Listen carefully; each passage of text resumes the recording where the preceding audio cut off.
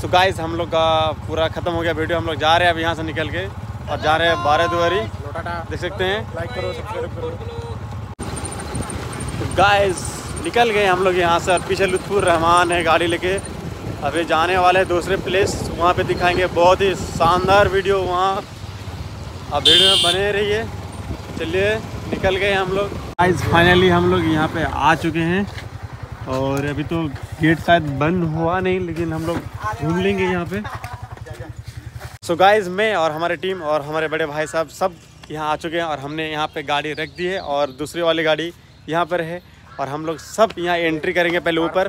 तो हम लोग चढ़ रहे हैं ऊपर। चलिए सीढ़ी है बहुत थोड़ा सा ऊपर है थोड़ा जाना ही पड़ेगा ऊपर। और यहाँ पे एंट्री करना होता है। अगर हम लोग यहाँ घूमेंगे तो सबको यहाँ पे साइन लगता है सिग्नेचर तो मेरे ख्याल से एक बंदा करेगा तो हो जाएगा शायद। तो चलेंगे हम लोग सब ऊपर। चलिए चलिए, फटाक से चलिए।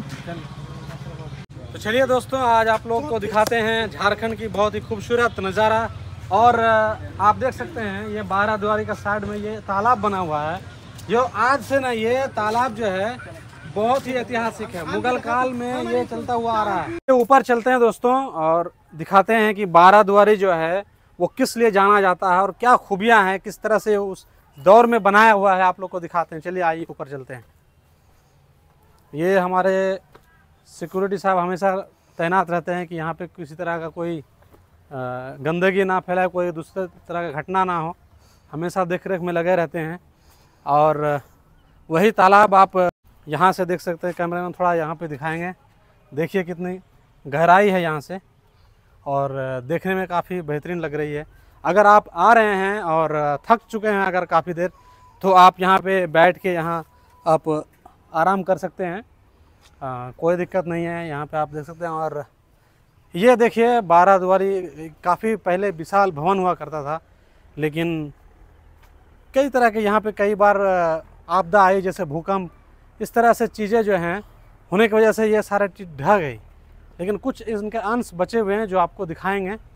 आगे चलते हैं, चलिए। अगर आप यहाँ पे आ रहे हैं, कुछ खाना, कुछ स्नैक वगैरह खा रहे हैं तो आपके लिए डस्टबिन यहाँ पे बना हुआ है। आप कचड़ा ज़रूर इसमें डालें, क्योंकि अगर, देखिए, वह बहुत ही अच्छा लग रहा है, क्योंकि इसमें ऑलरेडी जो टूरिस्ट लोग आते हैं तो डाल के रखे हैं। और काफ़ी बड़ा भवन हुआ करता था, लेकिन आज बहुत ही कम अंश बचा हुआ है। और जो बारह द्वार है, ये आपको दिखाएँगे। एक, यहाँ से शुरुआत कर सकते हैं आप। देखिए, ये एक गेट हो गया, एक द्वार है, और, आप इधर आएँ। ये भी जो है, लगभग पंद्रह सोलह सौ ईस्वी के आसपास में बनी हुई है। जब ये एक, देख सकते हैं, ये भी एक गेट है, यहाँ भी एक गेट है। ये जो है, भवन है, ये मुगल कालीन भवन है, और इसको जो बनाया गया था, इसका मेन उद्देश्य था जो गंगा नदी जो आप देख रहे होंगे, काफ़ी दूर में आपको दिखाई दे रहा होगा कि नहीं, शायद कैमरा में ना दिखे।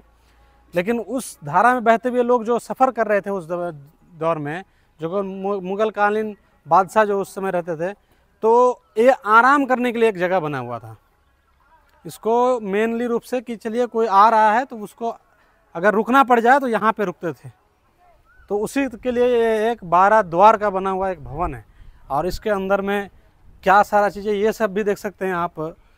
काफ़ी सारा जो है ढांचा है बना हुआ, लेकिन आज वो पूरी तरह से ढह चुकी है। देख सकते हैं जी, सब मना किया वहाँ, ये सब देख सकते हैं आप चढ़ने के लिए कि आप उधर ना जाएँ, लेकिन भवन क्या दौर हो रहा होगा उस समय? क्या इतिहास था राजमहल का, लेकिन आज वो इतिहास धीरे धीरे अपने वजूद से दूर दूर भागता हुआ ये शहर, कभी ये शहर राजमहल पूरे बंगाल की राजधानी हुआ करता था दोस्तों। चालीस साल भर हमारे पूरे बंगाल, यानी बंगाल के टाइम कहें तो बिहार, उड़ीसा, झारखंड और छत्तीसगढ़, इन सारे जो राज्य है, वो राज्य मिला के एक समय में बंगाल हुआ करता था। लेकिन बंगाल की राजधानी होने के बावजूद भी आज यहाँ पे काफ़ी सारे चीज़ नहीं है। ये पूरे जो आसपास का क्षेत्र है, यहाँ पे पहले आबादी बहुत काफ़ी भरा हुआ रहता था। यहाँ पे लोग नमाज़ भी अदा करते थे और रहने के लिए देख सकते हैं। चलिए अंदर भी देखते हैं आपको, दिखाते हैं अंदर में क्या आइए अंदर कैमरे में थोड़ा देखा जाए। ये देखिए। ये सोने के लिए काफ़ी बेहतरीन देखिए, उधर आप इस साइड भी देख सकते हैं। यहाँ देखें, ये सब उस दौर का भवन है। लगभग 400-500 साल पुरानी भवन है जी, लेकिन दीवारें काफ़ी मोटी है, इसलिए काफ़ी बेहतरीन तरीके से बनाया हुआ है। आज इनका प्लास्टर वगैरह नहीं दिख रहा होगा, देखिए।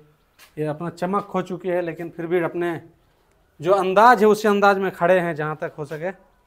सो गाइस देखिए यहाँ पे इसका नज़ारा, जो बारह दुआरी है हमारे यहाँ पे, जो इसका गेट है ना, बारह गो है, इसलिए इसका नाम बारह दुआरी रखा गया है।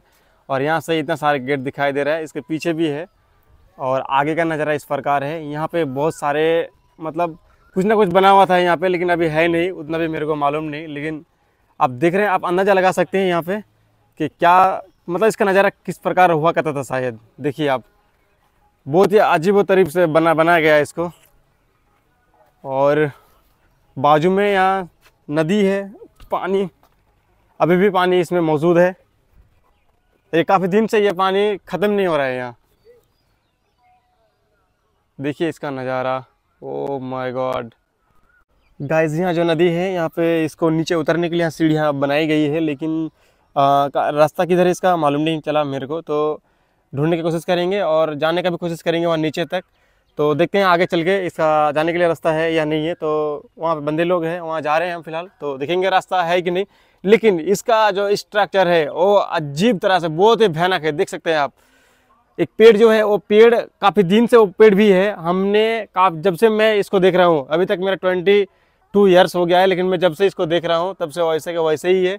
और इसका नज़ारा थोड़ी सी दूर से इस प्रकार है। और देखिए, ये सब शायद मेरे ख्याल से सब में लगता है रूम बनाया हुआ था, लेकिन किस प्रकार रूम था, लेकिन वो तो मालूम नहीं चल रहा है मेरे को।